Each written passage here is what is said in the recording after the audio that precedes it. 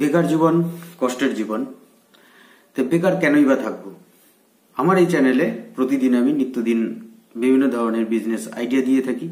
তো অনেকেই ভাবে যে বিজনেস যে শুরু করব, আমার তো কোনো এক্সপিরিয়েন্স নেই। তো এক্সপিরিয়েন্স ছাড়া কি বিজনেস করা যাবে? বা আমার তো গাড়ি নেই, বা আমি কীভাবে করব বিজনেসগুলো যে বিভিন্ন জায়গায় যাব, সেটা সবই সম্ভব। একটা শুধু উদাহরণ দিই, যে আপনি যখন মনে করেন যে কোনো স্কুলের পরীক্ষা বা মাধ্যমিক পরীক্ষা দিয়েছেন, তার কোনো এক্সপিরিয়েন্স ছিল কি? নিশ্চয়ই না। সেটাও কিন্তু আপনি উতরে গেছেন। সুতরাং এটিও সম্ভব। শুধুমাত্র নিজস্ব প্রচেষ্টা, একটুখানি পরিশ্রম এবং সব যে আমাকে সফল হতে হবে, সেই অ্যাচিভমেন্টটা থাকতে হবে। যদি থাকা যায়, তাহলেই করা যাবে। আজকে এমন একটা আইডিয়া দেব। যে আইডিয়াটা আপনি করে দেখুন, সেই আইডিয়াটাই যদি আপনি সফল না হন, তাহলে আমাকে বলবেন যে না, আমি সফল হতে পারিনি। আপনি যদি চেষ্টা করেন, অবশ্যই অবশ্যই সফল হবে যদি আপনি পরিশ্রম করেন। আজকের বিজনেস আইডিয়া থেকে শুরু করব। শুরু করার আগে বলছি, যারা যারা আমার চ্যানেলটা এখনও সাবস্ক্রাইব করেন প্লিজ সাবস্ক্রাইব করুন। কারণ সাবস্ক্রাইব না করলে আপনার কাছে আমার ভিডিও নোটিফিকেশন পৌঁছাবে না এবং ফ্রি অফ কস্ট কোনো টাকা লাগে না এরকম সাবস্ক্রাইব করতে। যে ভিডিও ওপেন করলে নিচে যে লাল রঙের সাবস্ক্রাইব লাগে শুধু তার মধ্যে টাচ এবং পাশে বেল বাটনে টাচ করবেন যাতে নোটিফিকেশনের মাধ্যমে আপনার কাছে পৌঁছে যায়। কারণ সাবস্ক্রাইব না করলে আমি সেভাবে উৎসাহ পাই না, উৎসাহ পাচ্ছি না। সুতরাং আজকে শুরু করব। আজকের যে বিজনেস আইডিয়া সেটি কি? স্টিল উল স্টিল উল বুঝলেন তো? স্টিল উল না, বুঝলেন স্ক্র্যাবার বাসন মাজি যেটা দিয়ে, যে স্টিল উল সেই স্টিল উল বা স্ক্র্যাবার, যেগুলো বাসন মাজার যে স্ক্র্যাবার আছে, সেই বিজনেস এখন বলবেন, এটা তো বড় বড় কোম্পানি দেখবেন যে বাসন মাজার যে স্ক্র্যাবারগুলো আছে নিত্যদিন বিভিন্ন দোকানগুলোতে বিভিন্ন দিন বিভিন্ন রকমের কোম্পানির মাল আসে। এর জন্য যে বিশাল বড় ব্র্যান্ডেড হতে হবে বা কিছু হতে হবে, তার কোনো প্রয়োজন নেই। সেটির কোনো দরকার নেই। যে বিশাল বড় একটা কোম্পানির হতে হবে, সেটা যে নিত্যদিন বিভিন্ন ধরনের বিভিন্ন কোম্পানির মাল তারা আসছে। অর্থাৎ আপনি যদি একটি নাম দিয়ে আপনার ব্র্যান্ড ইউজ করে, যদি আপনি ইউজ করে যদি দোকানগুলোতে দেন, আপনারা কিনবে। কারণ কি? সেই স্টিলগুলো বা যে স্ক্রাবার আপনি ইউজ করবেন, সেই যারা কাস্টমাররা যে ইউজ করে, সেটা কিন্তু দেখতে যায় না যে কোন কোম্পানির আছে। খাবার জিনিস হলে বা জামা কাপড় এগুলো হলে পরে ব্র্যান্ডেড একটা চিন্তা ভাবনা করে। কিন্তু এইসব ব্যাপারে কোনো প্রয়োজন নেই যে একটা বিশাল বড় ব্র্যান্ডের আছে, সেই বিজনেসটি করতে পারেন। কতগুলো জিনিস লাগবে আমি সেটা বলে দিচ্ছি, চারটি রকমের জিনিস। তার আগে কিছু প্রসিডিওর আছে। সেটির জন্য একটি ট্রেড লাইসেন্স আপনাকে করতে হবে। সেই ট্রেড লাইসেন্স আপনার তো পাশাপাশি আপনি যদি গ্রাম পঞ্চায়েতের হন বা মিউনিসিপ্যালিটির হন, সেই দপ্তর থেকে মিউনিসিপ্যালিটি কর্পোরেশন বা গ্রাম পঞ্চায়েত থেকে আপনি পেয়ে যাবেন। এবার যখন আপনি যখন শুরু করবেন, তখন আপনার অনেক কিছু প্রয়োজন নেই। যেমন জিএসটি এবং এগুলো প্রয়োজন নেই, কিন্তু পরে পরে ধীরে ধীরে সেগুলো করতে হতে পারে বা করতে হবে। সেগুলো, যখন আপনি বড় বিজনেস করে, আপনি আগে তো শুরু করুন, শুরু করার পরে তারপরে দেখা যাবে সেগুলো। আপনি শুধু একটা ট্রেড লাইসেন্স নিয়ে নিন। নেওয়ার পরে আপনি শুরু করুন। এর জন্য কত কি? আপনি প্যাকিং যে প্যাক আছে, সেই প্যাকটি কিনে নিতে পারেন। কাটার মেশিন সেই কাটিং মেশিন যেগুলো আছে, যদি স্টিল উল হয়, তাহলে তো কাটিং মেশিনের প্রয়োজনই নেই। এখন কতগুলো জিনিস লাগবে? একটা মেশিন লাগবে প্যাকিং মেশিন সেই প্যাকিং মেশিন কীভাবে করব? সেই প্যাকিং মেশিন যদি আপনার কাছে নাও থাকে, আপনি প্যাকিং মেশিন ছাড়াও আপনি করতে পারবেন। কীভাবে? দেখবেন যে স্টিলগুলো যে থাকে, সেই স্টিলগুলো একটা ছোট বাটির মধ্যে থাকে এবং একটি কাগজের মধ্যে ফ্রেম করে তার মধ্যে আটকে দেওয়া থাকে। সেগুলো সেলোটেপ দিয়ে আপনি করতে পারেন। সমস্ত মেটেরিয়াল কিনতে পাওয়া যায়।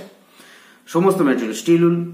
ইন্ডিয়া মার্টে যাবেন। ইন্ডিয়া মার্টে গেলে পরে একশো চল্লিশ টাকা প্রতি কেজিতে স্টিল উল কিনতে পাওয়া যায়। একশো চল্লিশ টাকা প্রতি কেজি। আপনি যদি ছোট ছোট বল যদি তৈরি করে, যদি আপনি পাঁচ টাকা করে তৈরি করেন, একশো মানে আপনার একশো চল্লিশ কেজিতে সরি এক কেজিতে মিনিমাম তৈরি হবে হচ্ছে দুশোটা। মিনিমাম আমি সব থেকে কম বললাম যে মিনিমাম দুশো টাকা আপনি যদি পাঁচ টাকা করে বিক্রি করেন কথায়, হাজার টাকা, একশো চল্লিশ টাকা দিয়ে কিনবেন, হাজার টাকা দিয়ে আপনি বিক্রি করবেন। এছাড়া লাগবে স্ক্র্যাবার স্ক্র্যাবারগুলো যদি আপনি যদি যেগুলো গ্রিন টাইপের যদি স্ক্র্যাবার সেই স্ক্র্যাবারও ওগুলো কিনতে পাওয়া যায়। তবে আমি বলব, আগে ফার্স্ট স্টিল উল দিয়ে আপনি শুরু করুন, তারপর আপনার চাহিদা মতো আপনি স্ক্র্যাবার কিনে নিতে পারেন। এছাড়া প্যাক এই জিনিসগুলো আপনি কিনে নিয়ে আপনি শুরু করতে পারেন। এর জন্য বড় মেশিনের প্রয়োজন নেই, কিচ্ছু নেই। শুধুমাত্র আপনি আপনি কোথাও দরকার অনলাইনেই আপনি করতে পারেন, বাড়িতে বসে থেকেই। যে কি? যে জিনিসগুলো ম্যাটেরিয়ালগুলো লাগবে প্যাকিং মেশিন ছেড়েই দিলাম প্যাকিং মেশিন প্যাকিং মেশিনের দাম আছে সত্তর থেকে আশি হাজার টাকা। সেটা স্টিল উল বাজার থেকে কিনে নিয়ে নিন সেই যে যে প্যাকেটগুলোতে থাকবে, সেই প্যাকেটও আপনার কিনতে পাওয়া যাবে। অনলাইনে মার্কেটে কিনতে পাওয়া যায় সেই প্যাকগুলো। স্টিল উল প্যাক বললেই পাওয়া যাবে। এবং আপনার একটা নিজস্ব আপনি যে কোনো দোকানে, আপনি যে কোনো আপনার যে পাশাপাশি যে অফসেটগুলো আছে, সেখান থেকে আপনি একটা আপনার ব্র্যান্ড নেম দিয়ে একটি কাগজের মধ্যে এ ফোর সাইজের কাগজের মধ্যে ছটা বা বারোটা প্যাকেট একটা করে যাতে আটে, সেইভাবে আপনি একটা ছাপিয়ে নিয়ে আসলেন আপনার কোম্পানির নাম দিয়ে। সেখানে আপনি যে বাটিগুলো থাকবে প্যাক যে প্যাকেট যে বাটিগুলো, বাটিগুলোর মধ্যে সেই স্টিলগুলো আপনি যে কিনে নিয়ে আসলেন র মেটেরিয়াল সেটা নিয়ে তার মধ্যে দিয়ে আপনি সেলোটেপ দিয়ে আটকে দিন বা আপনি স্ট্যাপলার দিয়ে আটকে দিন, দিয়ে আপনি বিজনেসটা শুরু করে দিন। আমার মনে হয় আপনি যদি করতে পারেন তাহলে যদি আপনি, দেখুন আমি একটা যেটা হিসাব দিলাম, যে সমস্ত খরচ আপনার একশো চল্লিশ টাকা দিয়ে আপনি এক কেজি কেনার পরে আপনার মিনিমাম দুশোটা প্যাকেট হবে। এবং এক একটা দু থেকে তিন টাকা লাগবে একটা এ ফোর সাইজের অফসেটে প্রিন্ট করতে। এবং বাটিগুলোর দাম, ওটা যে আছে, সেই বাটিগুলো আপনার মার্কেটে কিনতে পাওয়া যায়। সেগুলো হচ্ছে তিরিশ থেকে চল্লিশ টাকা পার কেজি। তিরিশ থেকে চল্লিশ টাকা পার কেজি।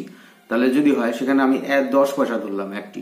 দশ পয়সা আর পেপারের জন্য পঞ্চাশ পয়সা।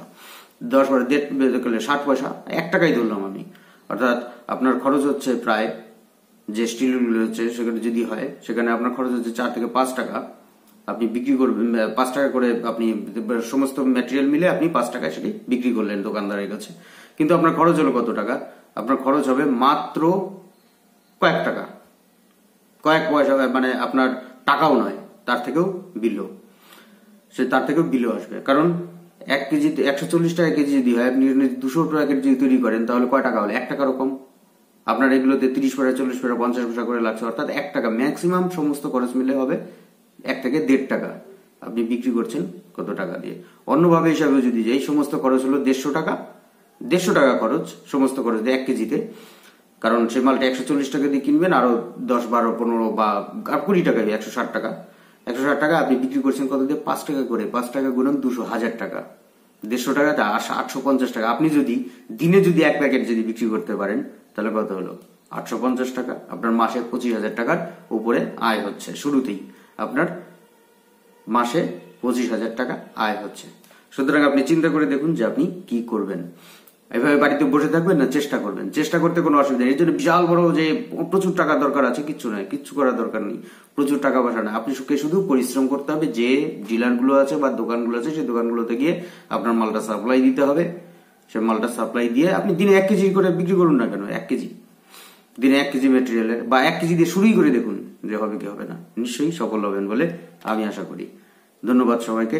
আমার চ্যানেলটি প্লিজ সাবস্ক্রাইব করুন এবং যদি ভিডিও ভালো লেগে থাকে অবশ্যই লাইক এবং শেয়ার করতে ভুলবেন না। অন্যদেরকে শেয়ার করে দেখার সুযোগ করে দেবেন। ধন্যবাদ।